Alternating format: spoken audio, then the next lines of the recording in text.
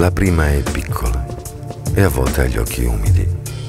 Fa pochi gesti e è chiaro che è un po' timida. Butta le braccia al collo e abbassa gli occhi. Cammina piano nella stanza e senza tacchi danza e sembra altissima. Mi sembra un angelo leggera e dentro l'anima nasconde primavera. Mi appoggia il viso sulla mano e senza dirlo, perché non parla mai, dice ti amo. Accoccolata sopra uno sgabello, fa tenerezza.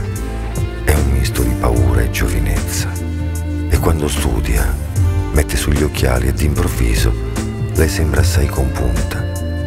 Mette le ali e vola in mezzo ai libri, come se non ci fosse più nient'altro al mondo. Mentre la guardo,